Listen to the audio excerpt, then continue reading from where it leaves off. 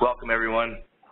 So this is the uh, 13th annual uh, Schisgall Lecture, and Richard Schisgall was a uh, community surgeon uh, here in Washington, D.C. for many, many years.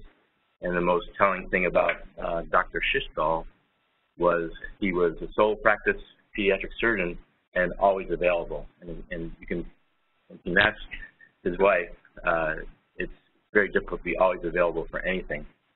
And that's just a testament to uh, his character and what this lecture is all about. Um, and I thank um, uh, Friedman's for um, being here every year and also initiating this endowed lectureship uh, for our hospital. So today I'm very happy to uh, welcome Darrell Cass here from Texas Children's Hospital. Darrell did his undergraduate uh, degree at Stanford University where he played baseball for four years. He, uh, he did his medical school at UCLA, did his residency training at uh, University of California, San Francisco. In the laboratory there, he worked under Mike Harrison and Scott Adzick and started in what he continued to do for many, many years, uh, fetal, uh, fetal intervention and fetal therapy. Um, he really uh, did his uh, uh, pediatric surgery training at uh, Texas Children's and where he stayed on as faculty and is co-director of the fetal program there. And um, happy uh, to have him here and glad he accepted our offer to come lecture us today. Spent many uh, many cab rides with Darrell as we were interviewing for fellowships back in the late 90s, and it's good to have him here on the other side. And he's going to talk talk to us today about building a fetal uh, program. Darrell.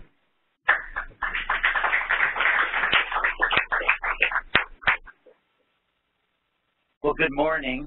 Uh, I am absolutely honored to be here. I was I was so appreciative of the invitation, and I'm very appreciative of of the family that uh, has helped to support this lectureship and helped support my trip here. My and I look forward to meeting you further this evening. Um, my title says building a. Can you guys all hear me? Is this working? Good. My title says building a comprehensive fetal treatment program, and I was I was thinking about like how to design the talk and uh, I thought about whether I should tell my personal odyssey, personal story, but I, and I may do that at the end, but I just thought we would start by really doing an overview of the, of the fetal therapy because before talking about building a program, it, it'd be better to get a sense of what I think a program is. So, let's see, computer's not moving. So I don't have any disclosures. So we're going to just talk a little bit about conditions that I think are amenable to fetal interventions, which means we have to talk about risk stratification and understanding what the natural history of those conditions are. I'll talk about what I think are some emerging areas in fetal ther therapy, and then we'll talk a little bit about program building if we have some time. So I've been uh, for the last 18 years in Houston. Uh, this is the Texas Medical Center here. This is a view toward Reliant Stadium where the Texans play. This is Hermann Memorial, Ben Taub Hospital, MD Anderson is all these buildings here, and Texas Children's is here. This is looking now toward downtown, uh, the Williams Towers over here, um, Galleria area, and here's Texas Children's Hospital. And this is a slightly older picture because this area right here is, has changed, and it's actually changed since this next photo. And, and the really cool thing is Texas Children's built a women's hospital which is great for somebody interested in fetal intervention.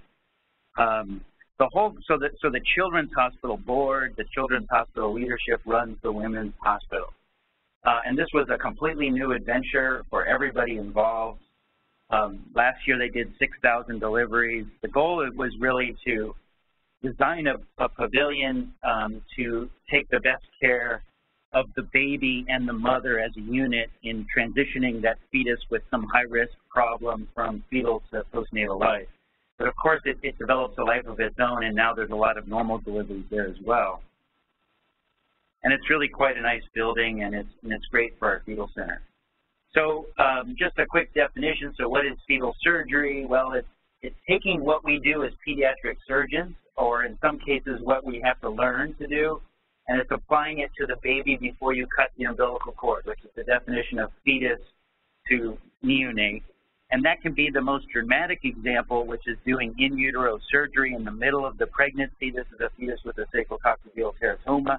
Or it can be right at the time of delivery, where you can do an exit procedure to help transition that baby with some kind of predictable problem that's going to challenge that baby's ability to breathe or function. Uh, you're going to stabilize them um, for their transition to neonatal care. And why the heck would you do this? Well, the simple answer is just to improve the outcome. And the most dramatic and the first application of this was to prevent fetal death.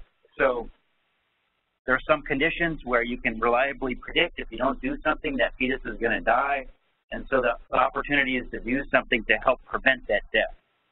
Then the next application was to do something to try to prevent postnatal death. So that talks about risk stratification because you have to be able to predict that your that baby is going to die unless you do some type of intervention to help prevent that death. And now most recently is to improve long-term outcomes. And that's getting pretty cool because now now we have to be able to prognosticate long-term outcomes. Um, and then, of course, myelomeningocele is the classic example for this, and that was tested with a prospective randomized trial comparing fetal surgery to postnatal traditional surgery, and it clearly showed that fetal surgery provided a benefit. But it, it gets this whole field of prognostication and risk stratification. This field is relatively new, and it's because fetal imaging is relatively new. Uh, ultrasound only came into OB practice in the in the 1970s. Uh, fetal MRI began to be investigated in the 80s, but the computer technology was slow, and they often had to paralyze the fetus. But then computers get faster and faster, and imaging gets better and better, and pretty soon Dorothy is going to uh, be able to treat and image, and, and she, the radiologists are going to take over the world. I'm, I'm sure of this because it's it's driven by technology, and we know how technology is driving forward. And Peter too is going to be involved in that revolution. So the types of interventions that we do, um, there are different types. So there, there's percutaneous things. So a fetus might have a fluid collection, and you put a needle in. You just put some local anesthesia in the mom, you put a needle in, and you aspirate the fluid. Or you can use that same strategy to put a shunt inside the fetus. Or you can give the baby blood if you need to. And then you can use radio frequency ablation, which is a, a technology to burn things uh, for certain applications. And then we can we can actually put cameras inside the uterus and do things fetoscopically. Um, the classic would be laser photocoagulation for twin-twin transfusion. It's a problem of the blood vessels on the placenta, and we go in with a little camera and we burn those connecting blood vessels. It's technically pretty easy, and it turns out that's been tested with a randomized trial as well and proven to be the best treatment for that condition. We can go inside the bladders of these fetuses and, and treat the posterior urethral valves. We can release amniotic bands. And we can potentially treat diaphragm hernia that way. We can put a little balloon inside the trachea of the fetus. And I believe that that's going to be the future uh, based on our own um, experience with that and, and the evolving world evidence. And then we've talked about open fetal surgery and exit procedures. This is a busy slide but it, it's a summary of, of the field where I think we are currently. So there on the on the left there, there are established um, applications of fetal surgery. On the right, I believe that these are these are probable uh, fields, but the evidence is still evolving. So a fetus that has a very large lung malformation that's squishing the heart and causing heart failure, that is a lethal problem unless you do something to treat it. It used to be that we call, we said the indication was hydrops, and I don't know if I'll have time to prove to you, but hydrops is not a predictor of fetal death for that condition. It's, it's heart failure. Um, a teratoma, these are, these are rare. They have a lot of blood flow going to them. Sometimes that blood flow exceeds the fetus's ability to pump that blood, and the fetus will go into heart failure as well and become hydropic. If that happens, that's a lethal problem, and it actually happens about 50% of the time in fetuses with teratomas, unless you do something to interrupt that blood flow. The most successful has been to remove the tumor, but theoretically you could do ablative procedures, but so far those haven't been as successful. And then a fetus that has an obstructed airway, an exit procedure is, is the best way to deliver that uh, baby, uh, and chaos is the classic example, and I'll talk a little bit about that and then you can use this exit procedure strategy to treat other conditions where you can predict the baby is going to immediately have compromise to their cardiorespiratory function. Um, and you can take advantage of the placental blood flow and the preserved oxygenation to do things to that baby to optimize that transition to the neonatal life. And twin-twin transfusion and myelomeningocele are some of the few things in pediatric surgery that have ever been tested with a prospective randomized trial to prove the benefit of those um, interventions. Diaphragm hernia, so FETO for diaphragm hernia is currently under investigation with two prospective randomized trials out of Europe to treat fetuses with severe diaphragm hernia and moderate uh, diaphragm hernia, and those are going to finish in the next year or two. And all the evidence prior to those um, interventions suggest that those that that treatment is going to have a benefit. And then probably it's best to do something to relieve bladder outflow, outflow obstruction when the fetus develops oligohydramnios. And heart lesions haven't been tested adequately per se, but our cardiologists believe there are certain cardiac conditions where the prognosis is grim and that potentially you can improve that with cardiac interventions, but the evidence for that is pretty weak currently. And the very interesting thing is when we're talking about this field, there's two patients. So there's a mom that is healthy generally, doesn't have any disease, and she's carrying a fetus that has this disease. And when we're treating that fetus, we're treating both of these patients. So that has to be done very, very thoughtfully. And we're very lucky in Houston. We have, have had Larry McCullough, who just retired, and he's an ethicist. And he's written a lot of literature on this whole field of fetal intervention. And he's given some general ethical principles which help to guide the development of the field. And he's participated in a lot of the national organizations that have been involved in this, in this field and helped to guide that it's done ethically. So now we're going to talk about a few conditions just to give examples. And I'm going to talk a little bit more about lung malformations. For one, it's something I'm particularly interested in. But two, it's just a good, it's a good example of the field and, um, and how it's evolved. So fetal lung malformations have given, been given a whole bunch of different names. I will tell you that this nomenclature is not right. Uh, there's a lot of opportunity for improvement. But basically, these are developmental anomalies within the lung. We think that we can, we can, using fetal imaging, we think we can learn a lot about these malformations that can predict what's going to happen with them based on MRI imaging and a number of other parameters. But it turns out there can be neoplasms in the fetal lung, and these are incredibly rare, but it's something you have to think about. There's some MRI pictures that shows a, a fetus with a very dramatic CCAM in the right lung. This fetus has massive ascites. We do think that MRI plays a very important role for a number of reasons. And it, it obviously it helps to demonstrate the lesion much easier. Um, we can actually measure the normal lung in the fetus, and we think that might have some predictive um, value in terms of how that baby's lung is going to function after they're born um, it can help us to, it can help us plan surgery, either in the fetus or if that this baby were born and that baby was very, very sick, it's hard to take that infant down to radiology to get cross-sectional imaging other than ultrasound at bedside. And we can use this picture to guide our surgical treatment. So there's a lot of reasons for that, and I don't have to convince Dorothy. But um, what are we going to look at? We're going to look at signs of complications. We're going to look at what are the effects of that mass on the fetus now. And if that mass squishes the esophagus and impairs the fetal swallowing, it leads to polyhydramnios. It, can actually squish the cisterna chyli and, and impair lymphatic drainage from the abdomen, and that can lead to this massive ascites. Most worrisome, though, is when that, when that lesion squishes the heart. And if, it, and if it impairs cardiac return from the placenta, that's when that fetus becomes threatened, and it's a predictor of fetal demise.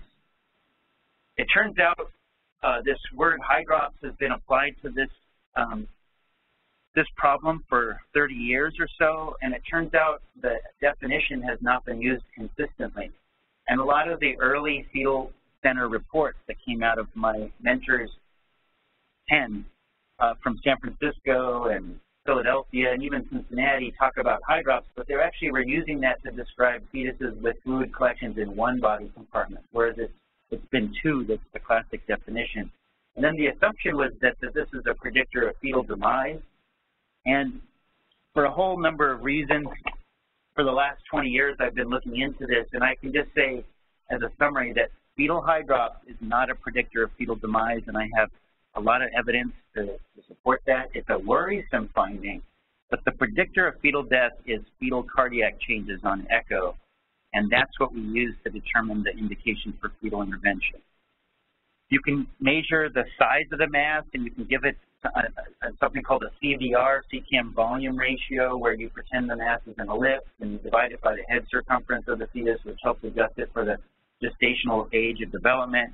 And that is very predictive of what happens to those fetuses. And here's some data from our own center. If that CVR is less than 1.6, that fetus has zero risk of developing complications. And in fact, three of these fetuses died in the neonatal period, but from cardiac disease, from pulmonary atresia, from trisomy 18, nothing to do with the lung lesion. But if the CVR is greater than 1.6, those are the ones that get into trouble and that we have to follow much more closely.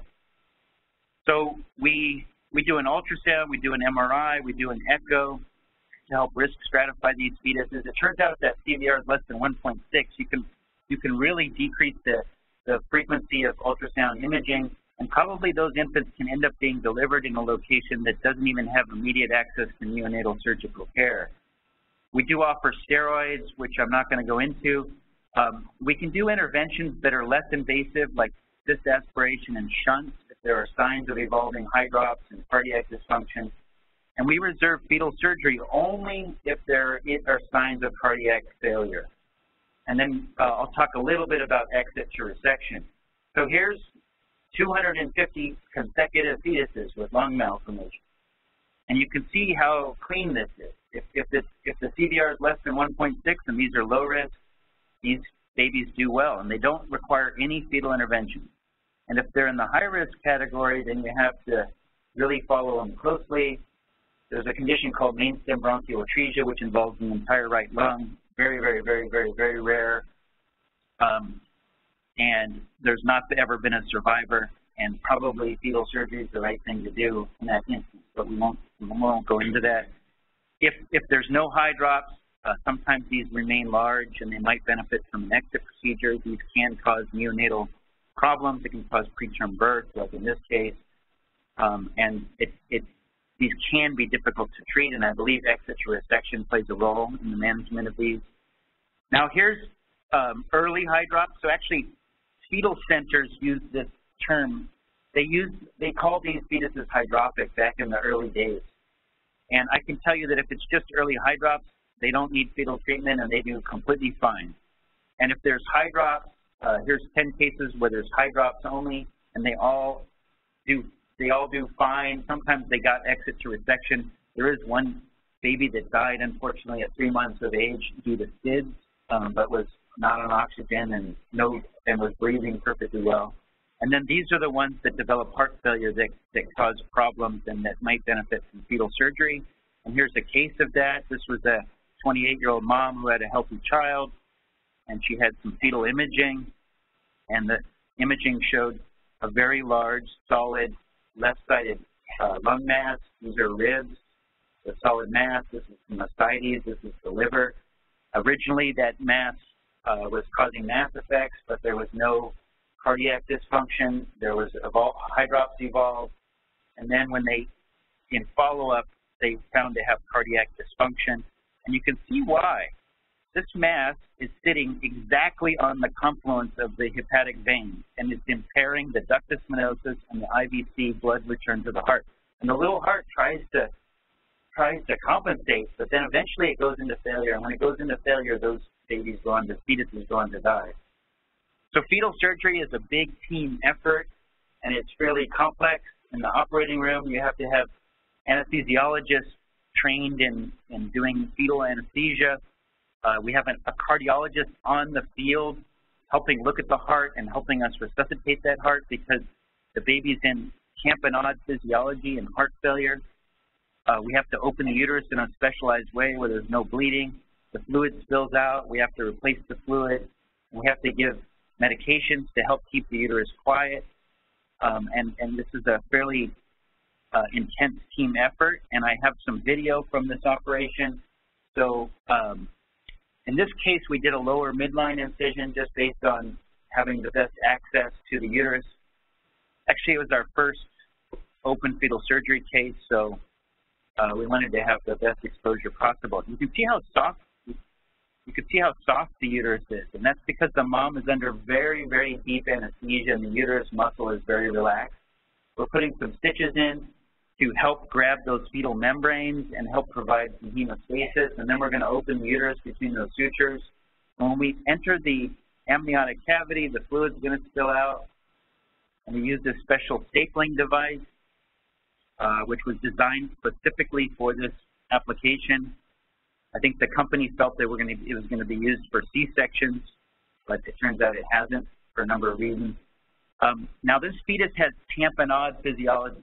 So uh, they're hypovolemic. The heart is underfilled right now. So we know this, and we're going to give some fluid up front, just like we would treating any patient with tamponade. So we're accessing the umbilical vein, and we're going to give a 20 cc per kilo normal saline bolus. And now we're we're using the cautery. I hate I hate I hate to see this uh, because it's, I don't like using heat to make an incision, but here we are. We're trying to be as fast as possible.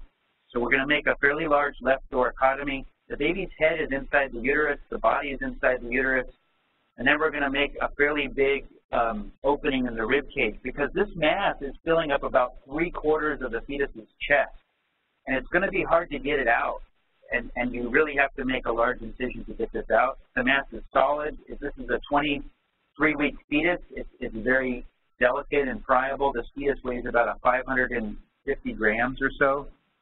And we're carefully delivering the mass, trying not to tear it. And then once the mass pops out, the resection is really, really, really easy uh, because the hilum is all stretched out, the lungs not being ventilated, and the resection is technically very easy and fast, and we're going to use a stapler, stapler to do that. And um, once the mass is out, then we're going to, now the fetus is not doing well right now because they were in tamponade, we gave some fluid, and now the chest is completely decompressed and the heart is empty. So um, the fetus is quite bradycardic, um, and shortly we're going to um, give some blood transfusion, and then we're going to give some medications. We're going to give epi, um, some atropine, and we're doing we did a little chest compression there just to stimulate the heart. And that that medicine right there is going into the atrium, and we're going to give.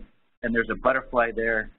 We gave we gave a transfusion into the aorta, and Fortunately, the heart started to recover, the heart rate got better, and we closed things up. And this was a mass that came out of the left upper lobe, and this is the left lower lobe. It measured 1.4 centimeters in diameter. It was tiny. The, there was a huge space in this chest. But the cool thing is, is that this fetus can recover. And 10 days later, the hydrops was gone, and then the baby was born about 10 and a half weeks later, and this is the chest x-ray right at birth. The baby did get uh, intubated, got some surfactant, and got extubated the next day. And here he is, three days of age with no oxygen. Uh, and there is a scar, probably because of that cautery. and the cool thing is, uh, here he is at one, and here he is at three, and he's, he's now seven years old and plays t-ball and sports. Now, I'm going to show one other case, but for one simple reason. This is another fetus that has a ginormous left-sided malformation, massive ascites. This was the original MRI. Um, there was no cardiac dysfunction. This looks really, really bad and really worrisome, and we were very worried about it. But there was no heart failure. So we gave steroids, and we watched really carefully. And over the next eight days, the heart function started to get worse, and the steroids don't do anything. That's a that's a different discussion, but we don't really know what these steroids do, but they probably don't hurt anything, and they might help but it's the, the benefit of them has been overplayed in the literature. Um, so uh, the heart failure evolved and we offered fetal surgery, which we did, mass came out, and the cool thing is the baby recovered. But I want to show some pictures. So there, here's the mass before surgery. Here's 21 days later, post-op. That mass came out of the left lower lobe. Look at look at the look at this MRI picture. This looks pretty darn good. Those lung volumes are 50%. That's 21 days later, and now uh, 67 days later, the MRI looked outstanding, and that baby was born at over 37 weeks, required no oxygen, um, perfectly fine, and now is two years of age and fine, and the uterus healed up well. So um, we've only done this five times for this indication, so that's not very many. But we see a lot of fetuses with these problems to do those five cases, I guess. And fortunately, in four of those, uh, there was an excellent result, just like I mentioned. And here's our first case. This child was an actor. He's an actor on the Disney Channel um, and has his Screen Actors Guild card. So we haven't done formal neurodevelopmental testing, but the outcome has been at least as good to be an actor in Hollywood. And then here's his chest x-ray when he was nine, uh, no bib malformations. And here's another case at four and a half. Now, it turns out, uh, I guess we're the only the third place in the world to have done this successfully. The first was in San Francisco, the next was in Philadelphia. And Cincinnati, for example, has tried this a number of times and hasn't been successful so far that I know of. Um, and the point is that these fetuses are sick and you have to know when to intervene and you can't do it too late. Uh, I like would like not to ever do it too early either, where they don't need it. And uh, but it's tricky, and resuscitating them requires our cardiology collaboration. So here's a weird case of a fetus that was now 36 weeks that has this thing. Looks really weird. I can tell you on ultrasound this is solid, it's very round and smooth and doesn't look like a, a developmental malformation. It looks different than that. But this fetus was in heart failure at 36 weeks with massive ascites, bad cardiac dysfunction, bad cardiac output. And so this, uh, this is now 36 plus weeks. This became clear that we were, the exit procedure might be the application for this. And we were worried that if, if you tried getting vascular access might be problematic, that the umbilical vein probably wasn't going to get good cardiac return, and we were worried about the ability to ventilate this baby. And if you deliver them, they're going to be sick. They're going to have cardiorespiratory compromise. They're going to go on the oscillator. They might have to go on the ECMO, and they have this mass in their chest. And so uh, probably the exit procedure is the right thing to do for that type of a problem, which is, of course, very, very rare. And we did that in this case, and we put in a, a right IJ jugular line for access, and then we did the thoracotomy and began resecting the mass. And that worked very, very, very well. Um, and that child was discharged at 21 days of life, and here he is as an infant, and here he is uh, at three years of age. And turns out that was a neoplasm. That's a FLIT tumor. These are very, very, very rare, um, but uh, they happen, and we've had a couple of cases. And it, and it turns out you can have pleuropulmonary blastomas in utero as well. And I think that exit to resection is the right thing to do for these very rare malformations that stay really big at the time of birth and there's still mass effects from that lesion. You can deliver them, but the operation is really tricky. The kid's on the oscillator, they sometimes have to go on to ECMO, the gas exchange is impaired, you have impaired cardiac filling, they're giving volume, they become coagulopathic as a neonate, you're having to ventilate the lungs or have them on ECMO and have them anticoagulated.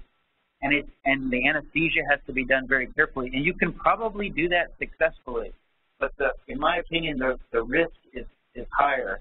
And we began doing exit resections after that first case that we had for those type of patients. And you can see that these are kids that still had very large CVRs of 2.5 or so. And that's, that's still really big. Um, and our outcomes for the exit resection compared very favorably to these babies that didn't have exit procedures prior to starting that um, around 2005 or so. So um, I'm going to shift gears to teratomas really quickly. Here's a classic sacrococcygeal teratoma in a newborn girl.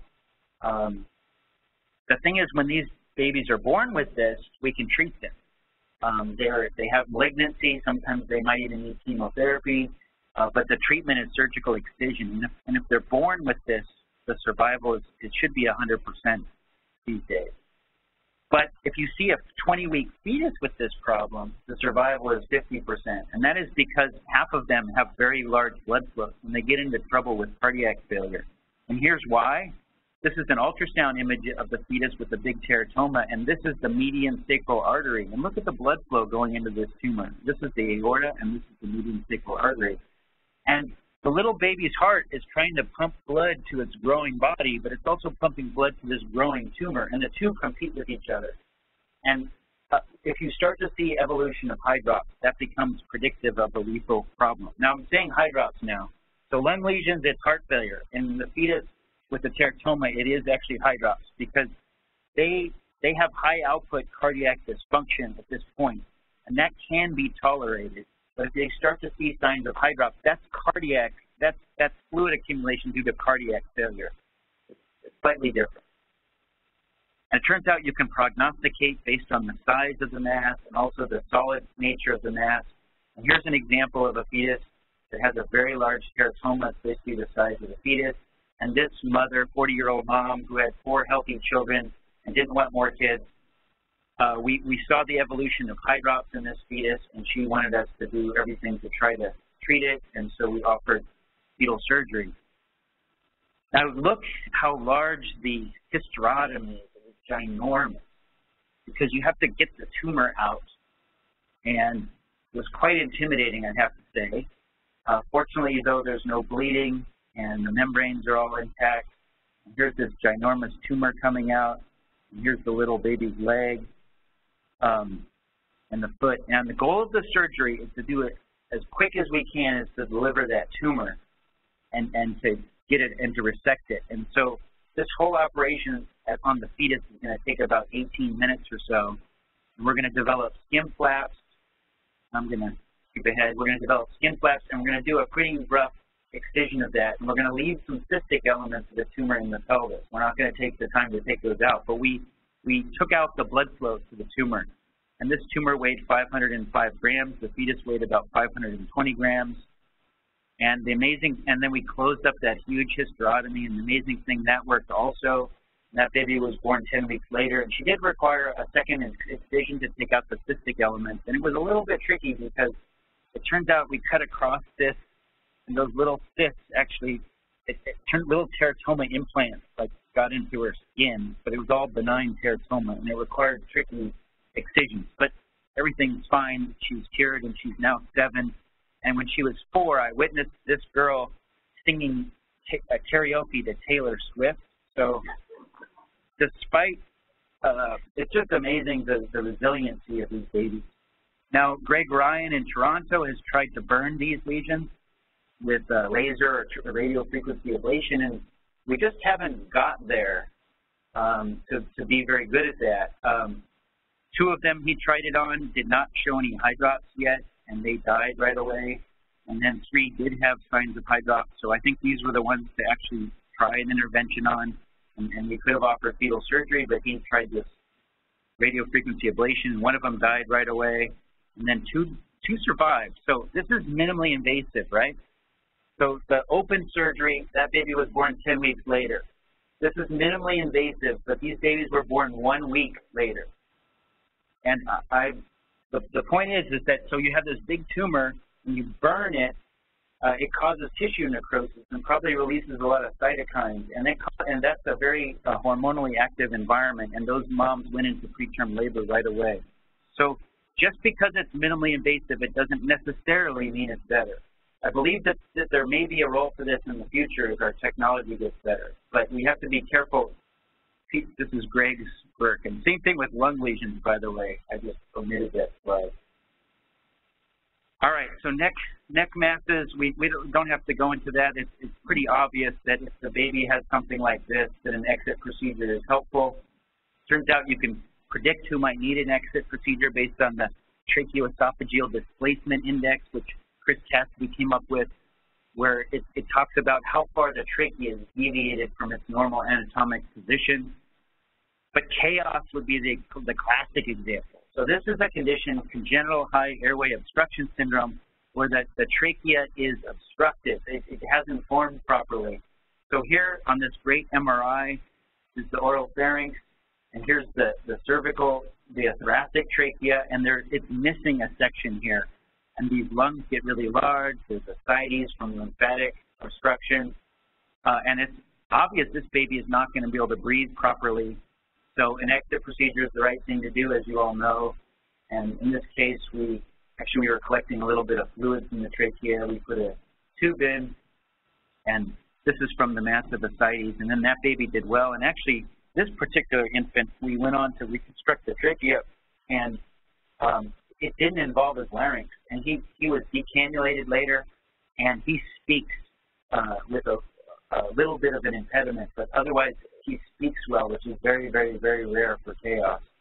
And theoretically, you could put a baby on ECMO with an exit procedure, but um, the application of that has not really been well justified so far. So we've been talking about preventing fetal death, and now we're going to talk about preventing or improving postnatal outcomes. And myelomeningocele is the is the classic example. And it turns out there was a, a, a great set of experiments done at UCSF by a friend of mine who was a research fellow um, in the lab at the same time I was. He created an, an animal model, a sheep model of myelomeningocele, and then his wife, who's a, a plastic surgeon, a pediatric plastic surgeon, actually collaborated with him and then went in and repaired the back of these lambs and show that you can rescue the neurologic function and help prevent the hydrocephalus evolution. And then folks began doing this in humans, and the story of that evolution is a really interesting story, um, but it's led to open fetal surgery for this problem. And here's a human baby with myelomeningocele undergoing the surgical repair, and it turns out uh, it helps. So the really cool thing is we think that the open neural tube defect is allowing CSF to leak out the back. And when you seal up that leak, it helps restore the brain. So we think that the CSF, when it's leaking out the back, there's less of a pressure um, gradient here, and the posterior fossa begins to herniate down the foramen magnum. This is called the Chiari-2 malformation. But when you repair that back, that Chiari-2 malformation can correct itself. And here is human fetal MRI of a baby with the Chiari-2 malformation. The posterior fossa, there's no fluid here. Uh, there's a little bit of ventriculomegaly, and this is uh, 40 days after open fetal surgery, and look at the cerebellum now, it looks a million times better. And it turns out that that's probably the mechanism that leads to the improved outcome for these babies. So the MOMS trial, there were 77 that had fetal surgery, and there were 80 postnatal repairs and they found that it cut the indications of getting a VP shunt in half, and it led to increased motor performance of those babies at by three years of age. It doubled their motor scores. So 42% could walk independently without assistance compared to 21% in the postnatal repair group. Now there's a cost. Doing open fetal surgery leads to preterm birth. And we don't ever let um, mothers labor after the open hysterotomy. So we don't let them go beyond 37 weeks. So in the MOMS trial, the average birth was 34.1 weeks, and in the standard postnatal group, it was 37.3 weeks. Um, and also that uterus doesn't heal real well, and there's a risk of, of complications or rupture. Uh, it turns out those can be, uh, that, that risk is very, very, very small, and there hasn't been any catastrophic um, events that have ever happened in San Francisco, Philadelphia, or in Houston uh, from open fetal surgery. Here's some pictures from our center. This is the. It's been excised, and now we're bringing the skin together over the top of the of the placode. Now, this is an elective operation.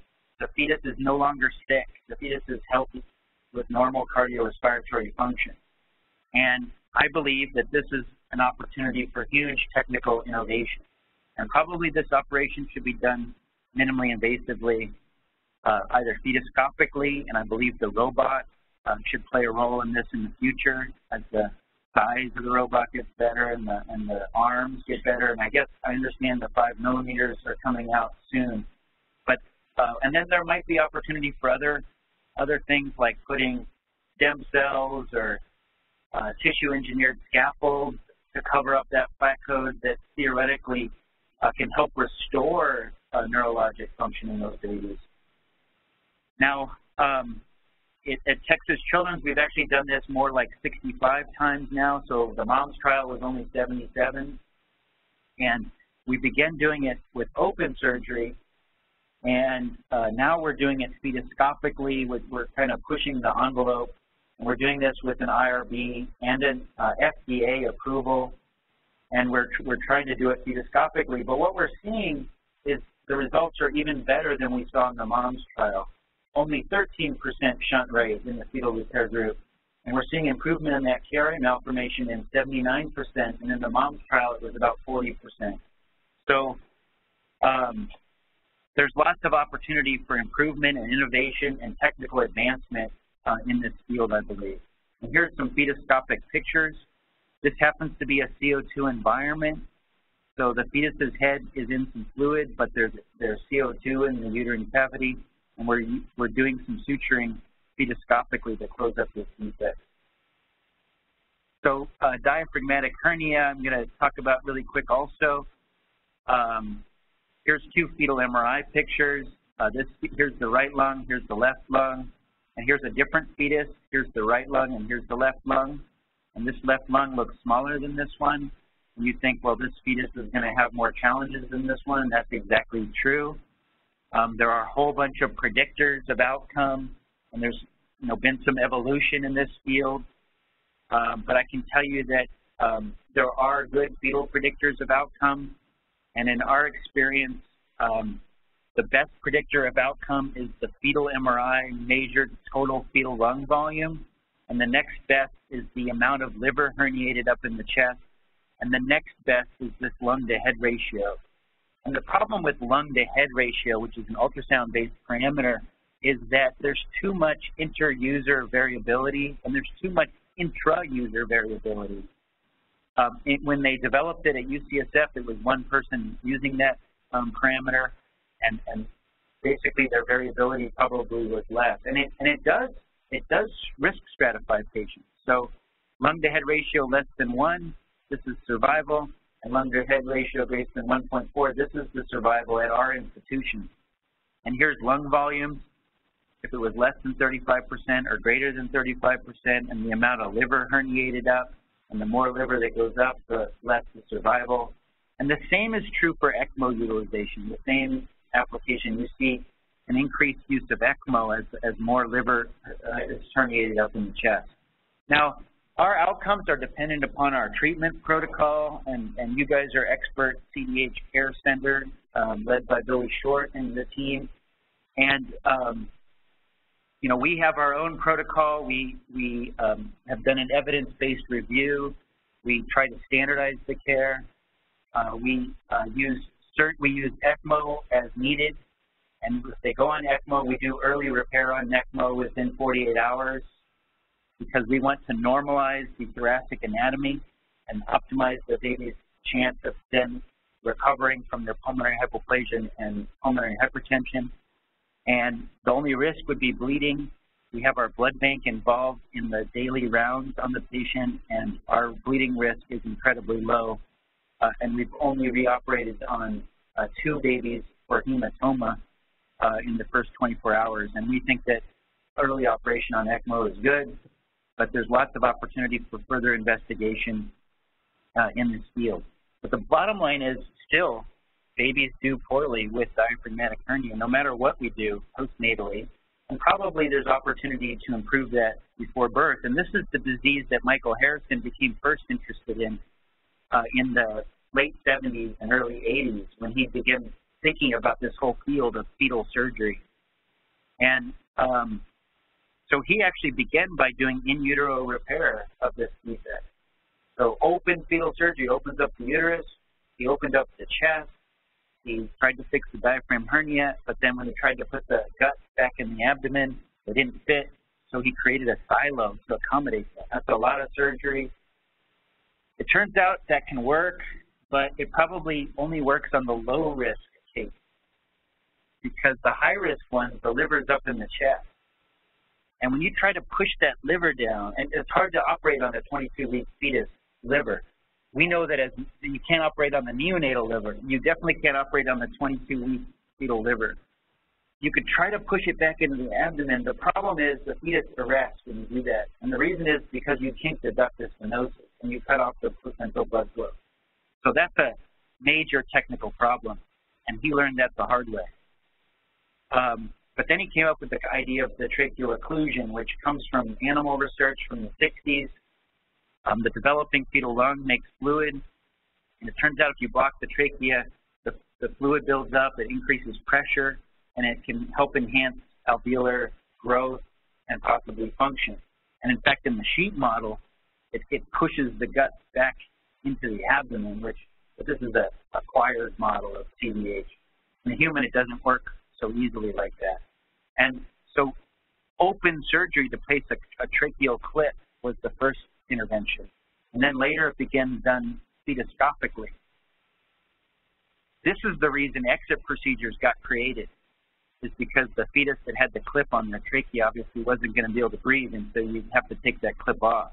But it turns out that's a problem because while that clip's on, the fetal lung doesn't make surfactant properly because there's too much pressure and the type 2 pneumocytes don't, don't synthesize surfactant. So it's better to actually unobstruct the trachea at least a week before birth. But that's, then you'd have to do two open surgeries or you'd have to do two fetoscopic surgeries. But a balloon would be the right thing to do, whereas theoretically you can put the balloon in, you can even pop the balloon later, or you could go in with a scope and pull it out. And this, this procedure was pioneered by Jan Deprest, who's a gyne gynecology surgeon in Leuven, Belgium. And uh, it can be done even with local anesthesia. You can put in this scope and put this balloon in. Literally, uh, in appropriate cases, it can take about eight minutes to do this intervention.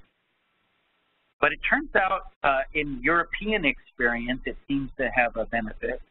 This is data uh, from 144 fetuses um, that have different severities of diaphragm hernia, and, and these are case adjusted historical controls, and, and you can see that there's a significant benefit to survival, but the benefit is mostly in the higher risk group with the smaller lung to head ratios.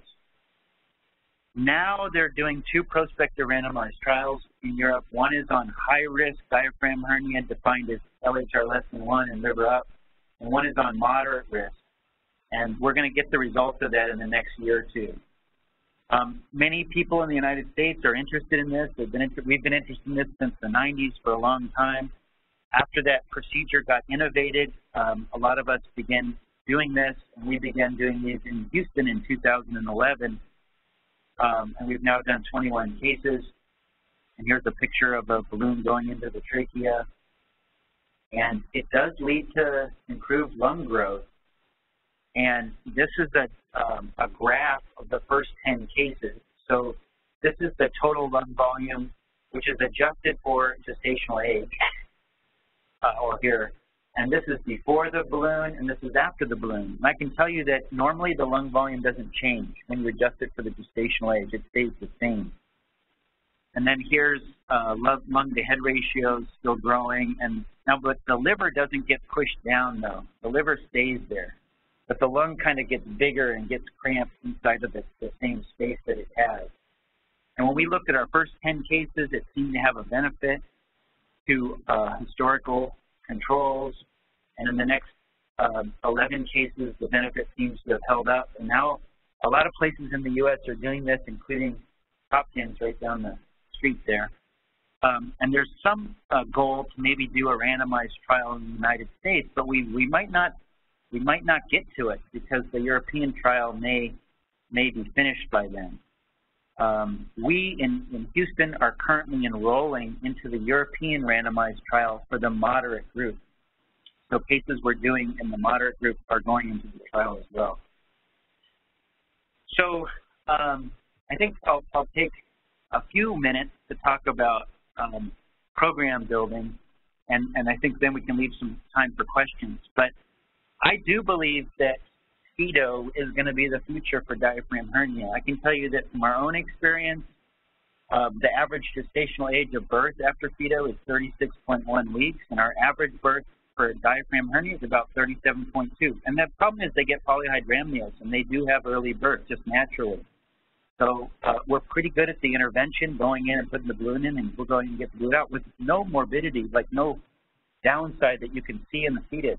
It's not going to help every baby with diaphragm hernia. I'm not sure it, it, it's not going to correct pulmonary hypertension, but it may enhance alveolar function and alveolar growth and alveolar function, which does help with some element of the, of the pulmonary hypertension. But it doesn't correct all of it. And you're going to maybe save some fetuses with severe CDH that would have died right away. And you may save them, and then they may struggle with pulmonary hypertension. But we're going to get better with that management as well. And I do believe that it's going to be the future, and we're going to be doing this clinically in the next five years. And then for repair of myelomeningocele, I'm sure that this should be done minimally invasively. And that's going to be the future. We're, uh, you know, we've now done 36, 29 cases in Houston that way, and we've gotten better at it. Um, and there's going to be a benefit to the uterus for future pregnancy. And also, the cool thing is, when you don't make the big hysterotomy, then you no longer care about labor.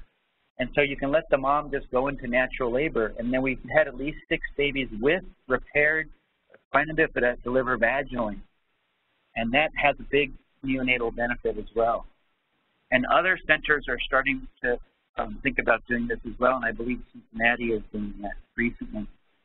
Then there's lots of research and opportunity to help with membrane closure and uterine healing. It turns out uh, it doesn't heal real well, and probably there's going to be an enhancement in that uh, in the future. So my evolution into this field like was pure luck.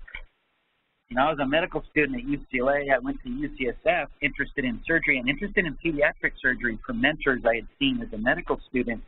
And I happened to go like where the field was, just by pure luck. And I met Mike Harrison, I met Scott Adzick, and Alan Flake um, was there for a period of time, and Tim Crombleholme had used to have been there, but he was off doing his fellowship, and Rusty Jennings and others were there, and Martin Meuli, this person that did the spina bifida animal model, is a PD surgeon in, in Basel, Switzerland, and it was kind of the, the epicenter, and it was obvious that that would be something I'd be interested in, and I began working um, a lot with Mike and Scott, and then I went to CHOP with Scott Adzick when he moved there in 95, and um, and then uh, I did my PD surgery training in Houston, and when I was finishing as a fellow, I knew that this would be like a career interest, but I didn't really foresee building a program right away as a, as a fellow. Although I'd done 10 years of training, still we think of ourselves as young, young people, young surgeons. And I looked at jobs a number of places, but basically David Wesson, who was the boss then in, in Houston, had this vision of building the fetal center. He's a very unassuming gentleman, and he basically gave me support uh, to do this and encouragement. And then I was joined in 2001 by my partner, Oluyinka Olutoye, who came from CHOP. And the two of us set about building a program. And um, I presented a business plan for this when I was a finishing fellow in 2001. Um, and then the two of us began kind of assembling a team. We were a friend of mine, Chris Cassady, is a fetal radiologist who was good at ultrasound, and he joined us at Houston, and, and Dorothy and he are, are good friends. And he helped start to develop fetal MRI at the time, and we started collaborating with anesthesia. And uh, now our OB partnership was kind of has gone through a lot of evolution because of OB situation in Houston. And every every city has its own unique OB relationships and MFM partnerships. And we, we've, we've worked with private practice MFMs, we've worked with academic MFMs, and, it, and it's gone through a whole bunch of phases. And we worked with fetal interventionists that, like, that's what they do as MFMs. They do a lot of fetal interventions. Um, and we worked with general OB and general MFMs, and we've worked with a whole different group. Um, but beginning in 2011, uh, the hospital went through a big change and it built this women's hospital and then we had a no, new OB-GYN chairman come in and he hired a whole bunch of MFMs and, and he helped solidify a program um, that is a huge program now that has four PD surgeons that do fetal surgery. It has four um, MFMs that pr primarily focus on fetal interventions. It has four fetal radiologists that do fetal MRIs every day. It has six nurse coordinators, has three intake coordinators, it has three administrators that are assigned to this program, and it's a pretty big deal, um, and it's a pretty uh, busy program. And how these programs get developed uh, just depends on where you are. Um, you know, the first was, and it's, it's evolved, the field has completely evolved because originally this was more boutique because we were talking about life-threatening problems which are very rare, they're hard to do, and requires expertise, and probably it's better that there were more regional centers. But now with myelomeningocele, that is a pediatric surgical condition. It's led by neurosurgeons, but it's a pediatric surgery condition that's done in children's hospitals. And it's really becoming the standard of care. That, that term standard of care has a lot of legal implications. But, but that is but that is the care that is the best evidence, put that way. So if you're not doing that, then you're not giving the best evidence-based care for that particular problem. And uh, so it's a new era, and that began only in 2011. So now all children's hospitals have become interested in this. So uh, the, the program first was UCSF and then CHOP. And we, we were the third to get set up beginning in 01, and then Cincinnati was about 05, uh, 06, and then Tim Crombleholme moved to Denver. Cincinnati still goes, and then he created Denver in about 2011. Vanderbilt really has been involved only in repair of spina bifida, and they haven't done other um, fetal surgery cases. And now um, Cardinal Glennon in St. Louis does fetal repair of myelomeningocele. Uh, Hermann down the street from us in Houston does it. That's politics uh, and the whole story. Uh, Minneapolis, Milwaukee, Ann Arbor, Michigan, Ochsner Clinic in Louisiana, I think those are the first 11 open fetal repairs of myelomeningocele. Boston has just done the heart interventions, never done open fetal surgery. And now uh, other places are going to do it, and I don't. Hopkins will be doing it soon, and uh, Chicago is planning. Interestingly, open fetal surgery has never been done in New York City, Chicago, or Los Angeles. But uh, Chicago is the closest to building a program. Probably going to take a couple of years. A lot of places are interested in this, and how you build your program is really dependent upon the local environment and your local resources and, and teams. Essentially, you have to build a team. You have to figure out where you're going to do them, and where you do them has to provide labor and delivery level maternal fetal care. And so you have to create the infrastructure for that, and then you have to get successful at doing it, and then you, you know, you have to have outreach to, to help um, inform the public and, and other referring doctors of what you're doing. But anyway, I'll, I'll close at that, and um, I thank you very, I'm sorry to kind of went through some of this so quickly, but I just wanted to provide an overview, I guess, from my perspective, and I really appreciate your attention. Thank you.